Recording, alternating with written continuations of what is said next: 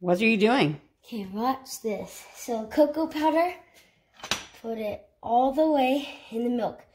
Wait a couple seconds. Okay, you can bring it out. It's full, right? Get a knife.